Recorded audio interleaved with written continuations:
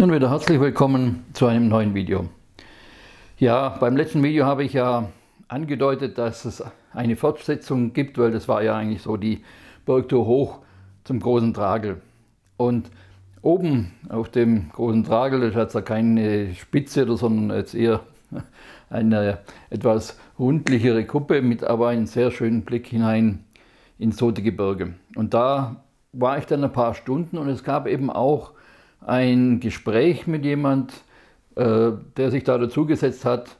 Und dieses Gespräch ist mir eigentlich ganz besonders in Erinnerung geblieben, weil es heute nach über 30 Jahren ja tatsächlich nochmal eine ganz andere Dimension, Aussagekraft hat. Und ich möchte auf diese Bilder und auf dieses Gespräch dann hier in den nächsten Minuten noch jetzt näher eingehen. Wenn man da so hochläuft, mehrere Stunden, dann läuft man durch ja, grauen Fels. Also ist ja Kalkgebirge und das ist dort so irgendwo alles so einheitsgrau.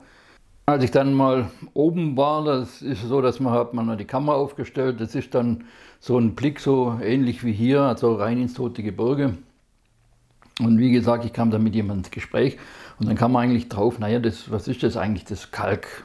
Kalk, ja, das ist ja, und wenn man genau hinschaut, dann ist das Muschelkalk. Also ich habe jetzt hier mal zwischenrein mal ein Detail so fotografiert. Also man sieht hier sehr deutlich, das ist eine Muschel oder das sind Muscheln.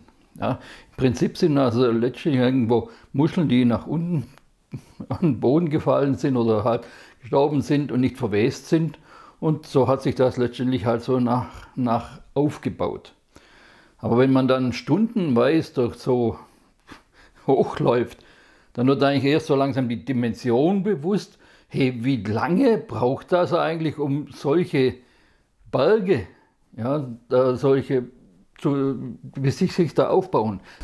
Da wird einem erst so langsam die Dimension bewusst, dass es einfach Milliarden von Jahren gebraucht hat, um ja, sowas entstehen zu lassen. Und wenn man jetzt eben das noch genau anschaut, dann kann man eben eigentlich auch drauf, naja, das hier ist ja eigentlich ja eine versteinerte Mülldeponie, ja, was wir hier sehen. Ja, das ist ja alles nicht verwester äh, Kalk, also nicht verweste Materialien. Ja. Und äh, ja, wenn man jetzt das so anschaut, ja, und da ist es mir dann gekommen, hey, also solche Berge von Müll, ja, die sehen wir heute wieder, ja, vor allem wenn wir unsere Elektroschrottberge und so weiter anschauen, die Deponien, die hier irgendwo in meistens fernen Ländern entstehen. Aber wenn man die ein bisschen distanziert anschaut, sieht das genauso aus. Okay, die sind noch nicht so hoch. Aber hey, das ist alles in den letzten 30 Jahren erst entstanden. Vor 30 Jahren hat das Ganze mit dem Elektrozeug erst angefangen. Also gab es noch kein Handy und das waren so die ersten Computer, ja, die ja damals dann so waren. Und was sind schon 30 Jahre? Also 30 Jahre ist ja ein Drittel meines Lebens. Und jetzt haben wir riesige Müllberge. Aber viel kritischer wie jetzt diese Mülldeponien. Ja, das ist eigentlich, dass wir die Erde aufbuddeln und rausholen, was geht. Ja. Wir holen Kohle, Braunkohle, Steinkohle, Uranerze. Also einfach alles, damit ja Strom erzeugt werden kann. Ja, natürlich auch die ganzen Mineralien und, und äh, Erze und so weiter, damit unsere super tolle, wundersame technische Konsumgüter Wunderwelt einfach existent sein kann. Doch auch diese Kohlevorkommen und so weiter, die haben sich alle auch eben über diese ja, Millionen von Jahren erst gebildet. Und das, was sich in Jahrmillionen von Jahren gebildet hat, das holen wir jetzt in wenigen Jahrzehnten an die Erdoberfläche und verbrennen es. Und letztendlich ist es einfach so, dass die Erde ein abgeschlossener Lebensraum ist. Ja, es ist halt so. Und da gilt nun mal ganz einfach, ja, die physikalische Basis der Satzerhaltung der Energie, dass die Menge der Energie in einem abgeschlossenen Lebensraum halt ganz einfach immer gleich bleibt. Das heißt, wenn wir hingehen und diese ganzen Ressourcen rausholen, verbrennen, ja, übrig bleibt letztendlich Wärme, Egal, ob wir das verbrennen oder hinterher dann einfach in Bewegung, auch bei der Bewegung bleibt hinterher Wärme und dann wundern wir uns, ja, wenn die Erde anfängt zu dampfen, also wenn das letztendlich immer wärmer wird. Das Klimaproblem, ja, das lässt sich mit Technik nicht lösen, sondern das Klimaproblem entsteht durch die Technik entsteht dadurch, dass unsere Technik nur funktioniert, wenn wir Strom haben. Diesen Strom müssen wir eben letztendlich halt erzeugen durch das, dass wir fossile oder andere Brennstoffe verwenden. Und wir können unsere Probleme mit der Technik nicht lösen. Nur, das kann man jungen Menschen heute gar nicht mehr verständlich machen. Denn es ist so, dass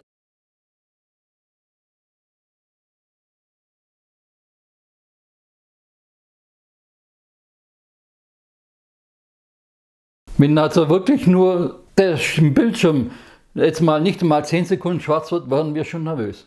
Dann stimmt schon was nicht mehr, weil wir sind alle verbunden, connected mit dieser neuen, wundersamen Welt. Ja? Und wenn wir sind nicht mehr ein Teil der Natur, sondern wir sind sehr viel mehr ein Teil von dieser virtuellen Welt, die wir uns jetzt eben in den letzten Jahrzehnten geschaffen haben und die muss natürlich existent bleiben, damit wir letztendlich auch diese nicht nur die Wohlstandskontur, sondern ganz einfach unsere innere Existenz ist abhängig von diesen ganzen technischen Geräten.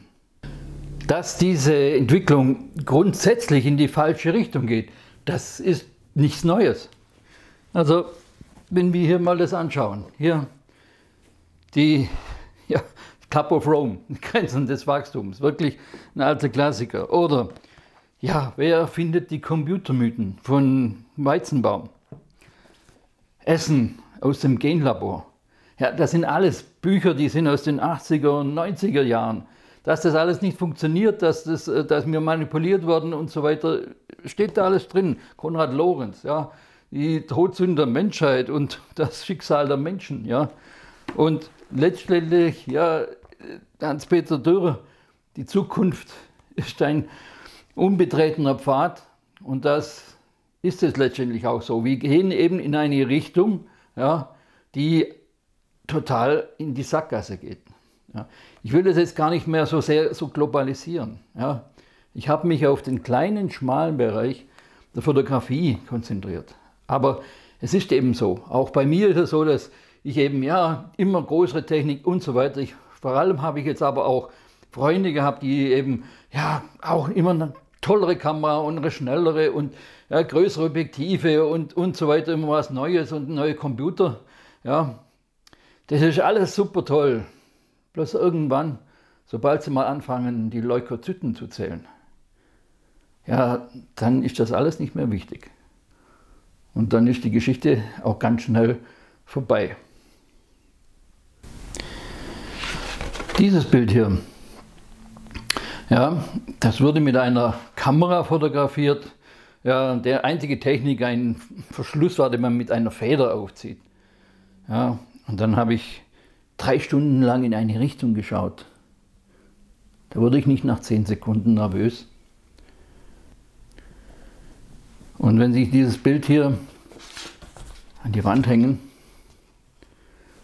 ja, dann können Sie das 200 Jahre lang anschauen, ohne irgendwelchen zusätzlichen Strom. Da reicht das ganz normale Sonnenlicht.